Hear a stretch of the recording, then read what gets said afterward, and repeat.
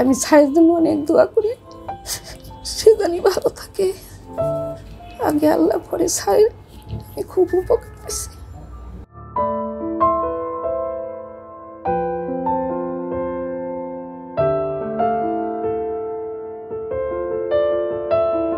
দশ বড় বছর আগে। আমার শুধু এই হাতটাই হয়েছিল। উঁচা করতে পারতাম না। উঁচা করতে পারতাম না। মানে একটা গ্লাস ধরতে পারতাম না। আচ্ছা। পানি গ্লাসে ঢেলে খাইতে পারতাম না আচ্ছা। এরকম হয়েছিল। তারপর ঢাকায় আসলাম। ঢাকায় এসে দেখালাম টেখালাম তারপরে আবার সেরে গেল। ওটা আর আমার সমস্যা ছিল কোনোদিনও আর সমস্যা ছিল না। তারপর হঠাৎ করে এই তিন মাস সাড়ে তিন মাস আগে আমি মানে এই হাঁটুতে মানে ওয়াশরুমে যায় হাঁটুতে একটু ব্যথা ব্যথা পেয়েছেন হ্যাঁ। হ্যাঁ, হ্যাঁ। ব্যথা অনুভব করি যে হঠাৎ করে এরকম হলো।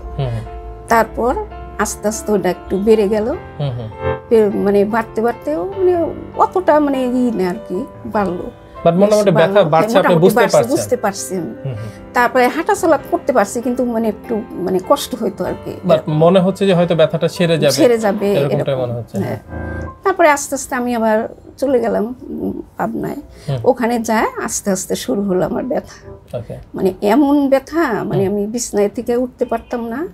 তারপর ধরেন মানে অনেক ব্যথা আর কি প্রচণ্ড ব্যথা মানে বিছানাতে করতে পারছেন না মানে বাথরুমে যেতে হলো কারও সাহায্য নিয়ে যেতে হতো ধরে ধরে যেতে আমার মানে বিছানায় থেকে উঠায় দিতে হতো। এত খারাপ মানে সুস্থ মানুষ হঠাৎ করে এই অবস্থাটা। মানে পারতামই না আর কি। তারপরে ধরে ধরে নিয়ে যেতে হতো বাথরুমে গোসলের সময় অসুবিধা হইতো। এরকম আর কি সব সময় মানে। অনবরত ব্যথাটা কি রেফার হতো। অন্য কোনো জায়গায় যেত কোমরে হ্যাঁ আচ্ছা। ওই তো এখান থেকে তারপরে পায়ে গেল। আচ্ছা পায়ে যে তারপরে আঙ্গুলগুলা ফুলে ফুলে গেল ওকে। তারপরে কালো হয়ে গেল হুম হুম। মোটা হয়ে গেল জিলিক ব্যথা মানে অসহ্য ব্যথা অসহ্যকর ব্যথা আচ্ছা। তারপর ওখান থেকে তারপরে আবার হাতে আসলো। ওকে। এই হাতের এই আঙ্গুলগুলা ফুলে গেল কালো হয়ে গেল। মানে যে জায়গাটা ফুলে যাচ্ছে ব্যথা হচ্ছে ওই জায়গাটা আবার কালো হয়ে যাচ্ছে কালো কালো হ্যাঁ। স্পট পড়ে যাচ্ছে। আমি ভালো আর কি অনেক পরিষ্কার হয়েছে। আচ্ছা। তারপর ওই যে ওখান থেকে আবার এই যে এই হাত আচ্ছা। এই মানে মানে স্টেপ বাই স্টেপ পর একটা সমস্যা। ভালো তো হচ্ছে না আরও খারাপ হচ্ছে। এইখানে ওকে তারপরে এই ইয়া কলার বনে চলে কলার গেল বনে চলে গেল। তখন আমি মানে বিছনা থেকে উঠতেই পারতাম না। হাত উঁচা করতে পারছেন না ব্যথা দুই হাত দুই। পা এরকম। আমাকে ধরে তুলতে হতো। ঠিক কতদিন পর থেকে বুঝতে শুরু করেছেন যে আপনি দুই দিন পর থেকেই বুঝতে পারছি। যে আপনি ধীরে ধীরে ভালো হচ্ছেন ভালো হ্যাঁ। অবস্থায় চলে এই আসতেছেন। জন্যই আমার অনেক মানে ভালো লাগছে। মানে খুব অল্প অল্প উইদিন শর্ট টাইম কতদিন ভর্তি ছিলেন স্যারের কাছে? আমি তো আট দিন আজকে। আজকে আর আট দিন? ওকে এখন আমি একবারে মানে মাঝখানে যেটা আপনি যেটা বলেছেন যে আপনার শরীরের বিভিন্ন জায়গাগুলো ফুলে গিয়েছিল সেই ফুলা অংশগুলো কি এখন আছে? না। সেই কালো কালো হয়ে গেছিল সেগুলো তো এখন অনেকটাই মিলে মানে গেছে। পরিষ্কার হয়ে গেছে অনেকটা এর মানে আপনার সেই হাঁটু ব্যথার এখন কি অবস্থা? হাঁটু ব্যথা হাঁটু আছে ব্যথার মানে করতে পারছেন নড়াচড়া হ্যাঁ, করতে সবই পারছেন করতে পারছি। হাত আপনি আমরা জানি আপনি তুলতে পারতেন না এখন কি পুরো তুলতে পারেন পুরো তুলতে পারি মানে সবকিছু করতে মানে সেই ব্যথা হওয়ার আগের যে যাওয়া। আপনি ছিলেন ঠিক সেই অবস্থা এখন আবারও আছেন আপনি। সেই সুস্থতা হ্যাঁ, আছেন। এখন কি সেই ব্যথার যন্ত্রণা আপনাকে সারা রাত না জেগে থাকতে হয়? আমি হাসতাম না কথা বলতাম না। মানে ভালো লাগতো না। জীবন থেকে একটা আনন্দের যে একটা হ্যাঁ, বিষয় সেটাই সম্পূর্ণ চলে মনে হলো যে গিয়েছে আমি মারাই যাব আর কি এরকম লাগতো। তো এই যে দীর্ঘ একটা সময় পরে যখন এই যে এখন সুস্থতা ফিরে পেয়েছেন আবার আবার ভালো একটা জায়গায় চলে এসেছেন আল্লাহর রহমতে কেমন লাগছে এই সময়টা? আল্লাহ অনেক ভালো লাগছে আমাদের দর্শকদের জন্য যদি কিছু বলেন তাদের সাথে যদি একটু শেয়ার করেন এই বিষয়টা। মানে ই মেহরবানি আল্লাহ আমাকে সুস্থ করে দিচ্ছে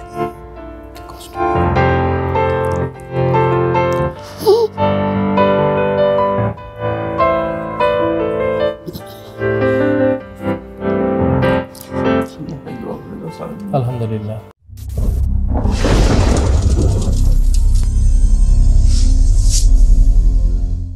আসসালামু আলাইকুম।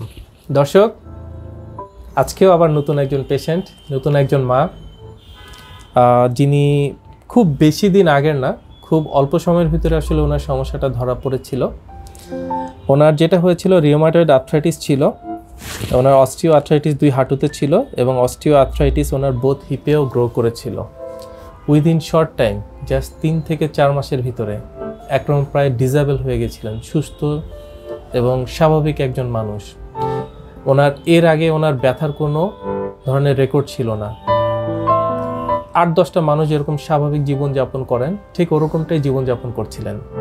বাট হঠাৎ করে কোনো কিছু না জানান দিয়ে একদম হঠাৎ করে ওনার জীবনে নেমে আসে এই যন্ত্রণাময় একটি সময়। কি করেছিলেন এই সময়টায়?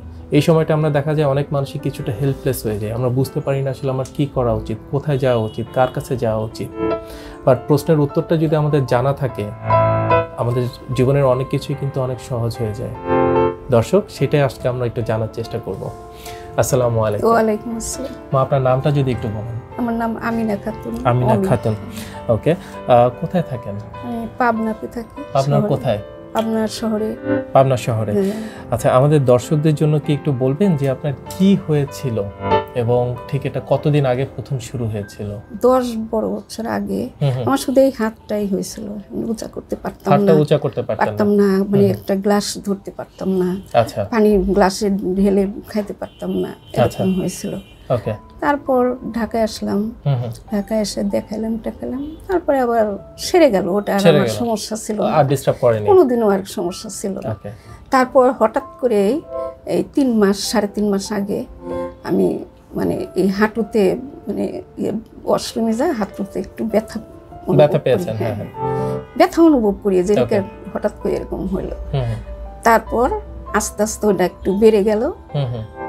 মানে বাড়তে বাড়তেও মানে অতটা মানে ই না আর কি বাড়লো। বাট মোটামুটি ব্যথা বাড়ছে আপনি বুঝতে পারছেন। বুঝতে পারছি। আমি। হুম হুম। তারপরে হাঁটাচলা করতে পারছি কিন্তু মানে একটু মানে কষ্ট হইতো আর কি। বাট মনে হচ্ছে যে হয়তো ব্যথাটা সেরে যাবে। ছেড়ে যাবে এরকমটাই মনে হচ্ছে। হ্যাঁ। তারপরে আস্তে আস্তে আমি আবার চলে গেলাম পাবনায়। ওখানে যায় আস্তে আস্তে শুরু হলো আমার ব্যথা। মানে এমন ব্যথা মানে আমি বিছনায় থেকে উঠতে পারতাম না। তারপর ধরেন মানে অনেক ব্যথা আর কি প্রচণ্ড ব্যথা মানে বিছানা থেকে উঠতে পারছেন না মানে বাথরুমে যেতে হলে কারও সাহায্য নিয়ে যেতে হতো ধরে ধরে যেতে আমার মানে বিছানায় থেকে আমাকে উঠায় দিতে হতো। এত খারাপ মানে সুস্থ মানুষ হঠাৎ করে এই অবস্থাটা। মানে পারতামই না আর কি। হুম হুম হুম। তারপরে ধরে ধরে নিয়ে যেতে হতো বাথরুমে গোসলের সময় অসুবিধা হুম এরকম আর কি সব সময় মানে। অনবরত রাতে ব্যথাটা কি রেফার হতো অন্য কোনো জায়গায় যেত কোমরে? হ্যাঁ আচ্ছা। ওই তো এখান থেকে তারপরে পায়ে গেল। আচ্ছা পায়ে যে তারপরে আঙ্গুলগুলা ফুলে ফুলে গেল। ওকে। তারপরে কালো হয়ে গেল। মোটা হয়ে গেল জিলিক ব্যথা মানে অসহ্য ব্যথা অসহ্যকর ব্যথা আচ্ছা। তারপর ওখান থেকে তারপরে আবার হাতে আসলো। ওকে। এই হাতের এই আঙ্গুলগুলা ফুলে গেল কালো হয়ে গেল। মানে যে জায়গাটা ফুলে যাচ্ছে ব্যথা হচ্ছে ওই জায়গাটা আবার কালো কালো হয়ে যাচ্ছে হ্যাঁ, কালো কালো হ্যাঁ। স্পট এখন পড়ে অনেক- যাচ্ছে। আমি ভালো আর কি অনেক পরিষ্কার হয়েছে। আচ্ছা। তারপর ওই যে ওখান থেকে আবার এই যে এই হাত। আচ্ছা। এই মানে মানে স্টেপ বাই স্টেপ একটার পর একটা সমস্যা। ভালো তো তারপরে হচ্ছে না আরও খারাপ হচ্ছে? এখানে তারপরে এই ইয়া। কলার বনে চলে গেল কলার বনে চলে গেল। তখন আমি মানে বিছনা থেকে উঠতেই পারতাম না। হাত উঁচা করতে পারছেন না ব্যথা দুই হাত দুই পা এরকম। আমাকে ধরে তুলতে হতো। আচ্ছা। করতে হতো। তো প্রাথমিকভাবে কি ধরনের ডক্টর বা কার কাছে গিয়েছিলেন না প্রথমে আমি ই মানে একজনকে ই করছিলাম টেস্ট করাইছিলাম সব। আচ্ছা। বলে যে ওই ডাক্তারের কাছে যায় টেস্ট করান। সে মানে টেস্টের পরে সব বলে দিবে কি হয়েছে। ওকে। তারপরে উনি বলল যে এটাই বলছিল। আচ্ছা আপনার অস্টিও আর্থ্রাইটিস সেটা তখন এই প্রথম আপনি জানতে পারেন যে আপনার শরীরে আর্থ্রাইটিস গ্রো করেছে। উনি আমার বলল যে না এটা কি মানে ওষুধ টষুধ দিছিল কিছু মানে ব্যথার ওষুধ টষুধ আপনি কমায়া তারপরে এই ডাক্তারের কাছে দেখান। ওকে। তারপরে ওষুধ খেয়েছেন? হ্যাঁ উনির ওষুধ ব্যথার ওষুধ খেয়েছিলাম। ব্যথার ওষুধ। মানে ব্যথার ওষুধ খেলে তো আসলে আমার ব্যথা তো আসলে কমবেই। কমবে তারপরে আবার বেড়ে যায়। আবার ঠিক আগের হ্যাঁ অবস্থায় হ্যাঁ। আগের অবস্থা হয়ে যায়। এরকম আচ্ছা। কয়েক দিন এরকম হইতে হইতে তারপরে আমি আবার লকডাউন এটা ওটা সেটা আসতে পারলাম না। পরে এর মাঝখানে যন্ত্রণা তো আছে হ্যাঁ কষ্ট তো আছে যন্ত্রণা মানে সব সময়।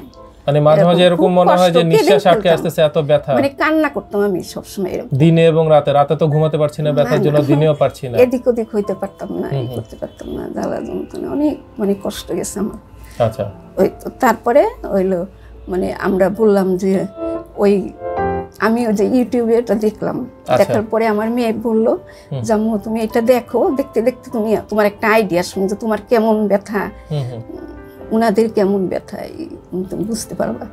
তারপরে দেখতে দেখতে আমি এটাই হয়ে গেল যে আপনার সাথে অনেকের সাথে মিলে গেল যে আসলে হ্যাঁ, আমারও তো এই হ্যাঁ, ধরনের সমস্যাগুলো আছে। এরকমই তো আমার হয়। তারপরে আমি বললাম যে না আমি এই স্যারের কাছেই যাব। ওকে স্যারের কাছে মানে ডিসিশন নিলেন যে আপনি স্যারের কাছে চলে আসবেন। তো সেই অনুযায়ী চলে আসলেন স্যারের কাছে। স্যার যখন প্রথম আপনাকে দেখলেন প্রথম দিন প্রথম দিন। কি বললেন স্যার দেখার পরে? স্যার দেখার ওটাই বলল আর্থ্রাইটিস। ইয়ে ওই রিমোটিক আর্থ্রাইটিস এটাই বলল। তারপর যা যা ট্রিটমেন্ট স্যার কি এমন কিছু বলেছিলেন প্রথম দিন যে ইনশাল্লাহ সুস্থ হয়ে যাবেন বা ভালো হ্যাঁ, হয়ে হ্যাঁ, যাবেন? হ্যাঁ, বা উইদিন শর্ট টাইমের ভিতরে ভালো হয়ে যাবেন? তাও বলছিল। আমার তো শুনে শোনার পর নিশ্চয়ই খুব আনন্দ লেগেছে ভালো লেগেছে লাগছিল আমি সাহস মানে অনেক সাহস পেয়েছি। তারপরে আমাকে এলো এক্স রে করালো সব টেস্ট করালো। তারপরে আমি দুই দিন পরে ভর্তি হয়ে ভর্তি। হয়ে গেলেন। এবং তারপরে আপনার ট্রিটমেন্টটা শুরু হয়ে হ্যাঁ। গেল। যখন ট্রিটমেন্টটা শুরু হলো ঠিক কতদিন পর থেকে বুঝতে শুরু করেছেন যে আপনি দুই দিন পর থেকেই বুঝতে পারছি। যে আপনি ধীরে ধীরে ভালো হচ্ছেন ভালো হ্যাঁ। অবস্থায় চলে এই আসতেছেন? জন্যই আমার অনেক মানে ভালো লাগছে। মানে খুব অল্প ওই দিন শর্ট টাইম কতদিন ভর্তি ছিলেন স্যারের কাছে? আমি তো তার দিন আজকে আজকে দিন। আর আট দিন ওকে এখন আমি একবারে মানে মাঝখানে যেটা আপনি যেটা বলেছেন যে আপনার শরীরের বিভিন্ন জায়গাগুলো ফুলে গিয়েছিল সেই ফুলা অংশগুলো কি এখন আছে? না। সেই কালো কালো হয়ে গেছিল সেগুলো তো এখন অনেকটাই মিলে মানে গেছে পরিষ্কার হয়ে গেছে অনেকটা। এর মানে আপনার সেই হাঁটু ব্যথার এখন কি অবস্থা? হাঁটু ব্যথা হাঁটু আছে ব্যথার মানে করতে পারছেন নড়াচড়া হ্যাঁ, করতে সবই পারছেন করতে পারছি। হাত আপনি আমরা জানি আপনি হ্যাঁ, তুলতে হ্যাঁ। পারতেন না এখন কি পুরো তুলতে পারেন পুরো তুলতে পারি মানে সবকিছু করতে মানে সেই ব্যথা হওয়ার আগের যে অবস্থা আপনি ছিলেন ঠিক সেই অবস্থায় এখন আবারও আছেন। সেই সুস্থতা আছেন। এখন কি সেই ব্যথার যন্ত্রণা আপনাকে সারা রাত না জেগে থাকতে হয়? আমি যে হাসতাম না কথা বলতাম না মানে ভালো লাগতো না। জীবন থেকে একটা আনন্দের যে একটা হ্যাঁ, বিষয় সেটাই সম্পূর্ণ চলে গিয়েছে। গিয়েছিল আমি মারাই যাব আর কি এরকম লাগতো। পরিবারে হয়তো আনন্দের কিছু ঘটতেছে কিন্তু হয়তো আপনি সেখানে মন খারাপ আপনাকে দেখে পরিবারের অন্যান্য সবারও মন খারাপ হয়ে থাকতো সারাক্ষণই সবার খারাপ লাগতো যে পরিবারের সবচেয়ে আপন মানুষটা সেই হ্যাঁ। মানুষটা যদি অসুস্থ থাকে আমাদের কারোই ভালো লাগে না। তো এই যে দীর্ঘ একটা সময় পরে যখন এই যে এখন সুস্থতা ফিরে পেয়েছেন আবার আবার ভালো একটা জায়গায় চলে এসেছেন আল্লাহর রহমতে কেমন লাগছে এই সময়টা? আল্লাহ অনেক ভালো লাগছে আমাদের দর্শকদের জন্য যদি কিছু বলেন তাদের সাথে যদি একটু শেয়ার করেন এই বিষয়টা। মানে ই মেহেরবানি যে আমাকে এরকম সুস্থ করে দিচ্ছে কষ্ট।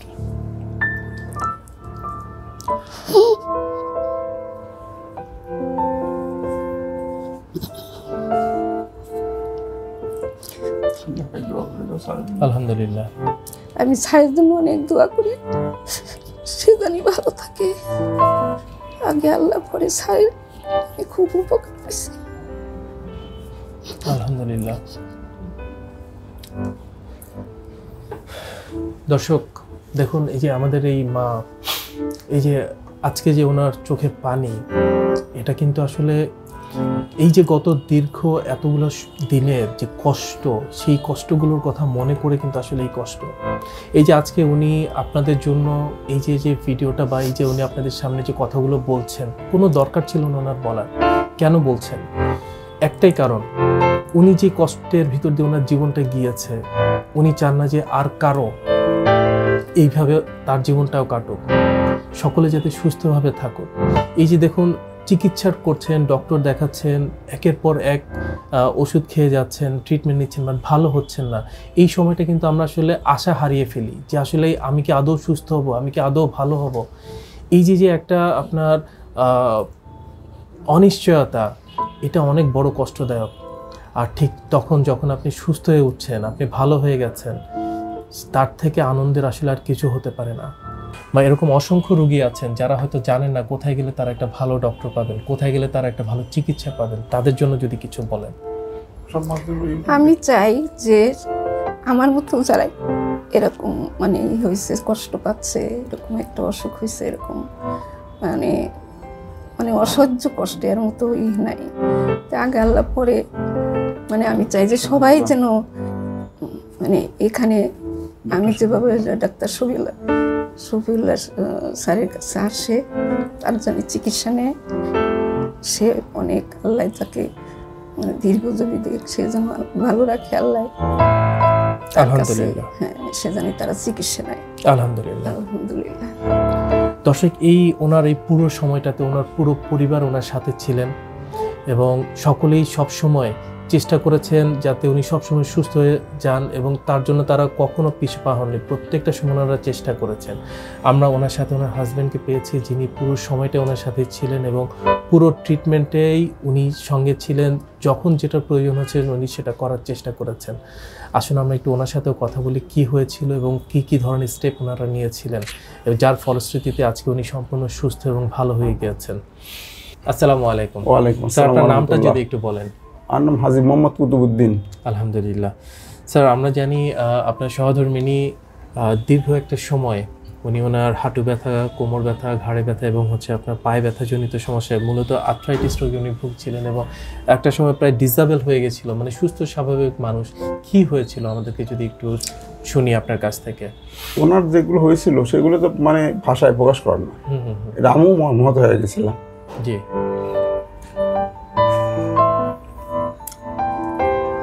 উনি খুবই কষ্টে ছিলেন। যাই হোক আল্লাহ উনি মানে ইউটিউবে মানে আপনার আপনার মোবাইলে ইউটিউব খুঁজ দেখতো খালি দেখতো কোথায় চিকিৎসা আছে। শুনতে আপনার স্যারের এর খোঁজটা পায় তো স্যারের বিভিন্ন রকম যে আপনার ই আছে ইউটিউবে এগুলো আছে দেখে দেখে তারপর মিলায় দেখে যে তার অসুখগুলো তার মিলে লাগে দেখে সে যেগুলো বলে তার সঙ্গে মিলে যায়। তখন সে বলল যে আমি তাহলে ওই ডাক্তার দেখাবো। আমি আর কোথায় যাব না? আমাকে তুমি ঢাকায় নিয়ে চলো। ঢাকায় আমি ওই ডাক্তারকে দেখাবো। তারপর আমি আমি আমার ছেলেকে বললাম আমার মেয়েকেও জানানি তারপর বলল ঠিক আছে তাহলে আসো। আমরা তো আমার ছেলে আপনি ছেলে আপনাদের আমাকে নিয়ে আসলো আমাদের। নিয়ে আসে সরাসরি আপনাদের এই শফিউল্লাহ প্রধান সাহেবের এই আপনাদের ডিপিআরসিতে আমাদের এখানে ভর্তি করেন ভর্তি করার পর আলহামদুলিল্লাহ এখানে এই দুই দিনের ভিতর দেখলাম যে উনি হাঁটি বেড়াচ্ছে হাঁটতেছে। তখন আমার একটু আশা আসলো যে ইনশাল্লাহ বাকিটা হয়তো ঠিক হয়ে যাবে। হয়তো পারবে। এই যে আজকে আট দিন পরে। আমি খুব কষ্ট করেছি নতুন স্বাভাবিক আপনার সবচেয়ে আপন মানুষটাকে যাকে বিছানায় উঠে দিতে হচ্ছে খাওয়াই দিতে হচ্ছে বাথরুমে নিয়ে যেতে হচ্ছে মানে কারও সাহায্য ছাড়া কিছু করতে পারছে না। এই পুরো সময়টাতে আপনার সহযোগিতা আপনার পুরো পরিবারের সহযোগিতা উনি পেয়েছেন বলে কিন্তু আসলে আজকে উনি সম্পূর্ণ সুস্থ এবং এই যে আমাদের পাশে বসে আছেন এটা অনেক বড় একটা বিষয় এবং যখন দেখছেন যে রাতের পর রাত উনি নির্ঘুম কাটাচ্ছেন ব্যথার যন্ত্রণায় কমপ্লেন করছেন বলছেন যে ব্যথা হচ্ছে কিন্তু কিছু করতে পারছি না এটা অনেক কষ্টের এটা আমাদের সকলের জন্য অনেক কষ্টের এটা আমরা আসলে কেউ মেনে নিতে পারি না। আমি আল্লাহর কাছে দোয়া করি যেন এই শকুল প্রধান সাহেব শকুল্লাহ প্রধান সাহেব যেন আল্লাহ দীর্ঘজীবী করুক আল্লাহ তাকে ভালো রাখুক আর সেই জন্য মানুষকে আরও আরও সেবা দিতে পারে। এই দোয়া করি আল্লাহর কাছে। দর্শক ডিসেবিলিটি ব্যথা শব্দটা আসলে অনেক ছোট একটা জিনিস কিন্তু আমাদের জীবনে এই জিনিসটা পুরো অন্ধকার নামিয়ে দেয় পুরো জীবনটাকে শেষ করে দেয়। এই ব্যথার যন্ত্রণা সহ্য করতে না পেরে আমরা এরকম অসংখ্য অসংখ্য মানুষকে পাই যারা সুইসাইড পর্যন্ত করেন। তারা বলেন যে, আমাকে মেরে ফেলেন, আমি এই ব্যথা আর সহ্য করতে পারছি না। কিছু একটা করেন। দর্শক, এই যে আজকে আমাদের সামনে এই যে প্রবীণ, আমাদের এই বাবা মা আছেন, এই যে তাদের চোখের কান্না, এটা হচ্ছে যে এতটাই কষ্টের। আমরা কিন্তু চাই না আমাদের আর একটা বাবা মা, একটা ভাই, একটা বোন, একটা মা, কারও চোখে আমরা কখনো এই ধরনের পানি দেখতে চাই না। কারও যাতে ব্যথার জন্য এই ধরনের সমস্যা না হয়। দর্শক, কিছুই না। এই ধরনের ট্রিটমেন্ট খুবই সহজ, কিন্তু আসলে সঠিক ট্রিটমেন্টটা দরকার। আমরা সঠিক ট্রিটমেন্টটা পাই না বলে আসলে আমাদের এতটা কষ্ট পেতে হয়। দিনের পর দিন, বছরের পর বছর আমাদেরকে এইভাবে কষ্ট করে কাটাতে হয়। দর্শক, আমরা আশা করব এটা আমাদের প্রতিজ্ঞা। আমরা আর একটা বাবা, মা কারও চোখে অন্তত ব্যথার জন্য আমরা কষ্ট দেখতে চাই না। আমরা দেখতে দিব না। আমরা চেষ্টা করব সঠিক একটা সময়, সঠিক কনসালটেন্টের মাধ্যমে সঠিক চিকিৎসাটা গ্রহণ করে আমরা সম্পূর্ণ সুস্থ এবং ভালো থাকব। ধন্যবাদ আপনাদের সকলকে আমাদের সঙ্গে থাকার জন্য। আসসালামু আলাইকুম। আপনাদেরকে অসংখ্য অসংখ্য ধন্যবাদ। আসসালামু আলাইকুম। ওয়ালাইকুম আসসালাম রহমতুল্লাহ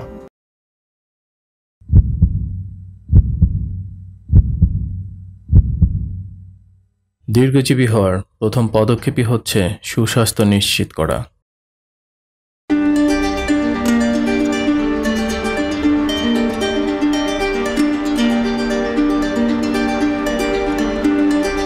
দেহ ও মন ভালো থাকলেই ভালো থাকে স্বাস্থ্য। আমাদের রয়েছে আধুনিক যন্ত্রপাতি।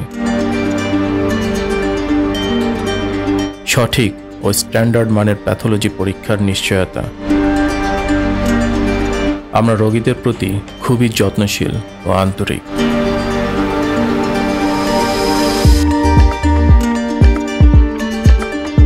আমরা সর্বপ্রথম প্রতিটি রোগীর সঠিক রোগ নির্ণয় করি, এরপর রোগ অনুযায়ী অপারেশনবিহীন চিকিৎসা দিয়ে থাকি। আমাদের প্রতিটি ডক্টর, নার্স ও থেরাপিস্ট প্রশিক্ষণপ্রাপ্ত ও দক্ষ। আমরা প্যারালাইসিস রোগীদের নতুন করে চলতে শিখাই।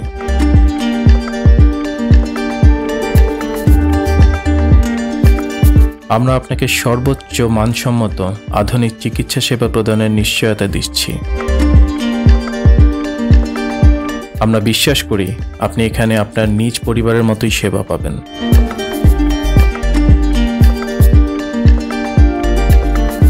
বাত ব্যথা প্যারালাইসিস ও আর্থ্রাইটিসের একটি নির্ভরযোগ্য প্রতিষ্ঠান। আমরা চাই না আপনারা বারবার আমাদের কাছে ফিরে আসুন তবুও আমরা আছি সবসময় সর্বদা আপনাদের পাশে TPRC hospital and diagnostic lab limited. আস্থা বিশ্বাস ও নির্ভরতায় অবিচল।